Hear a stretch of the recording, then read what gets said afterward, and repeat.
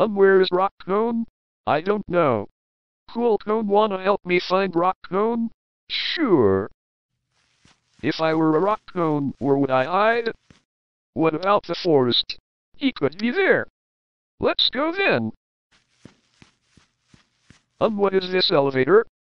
I don't know. Let's try opening it. There. Let's enter.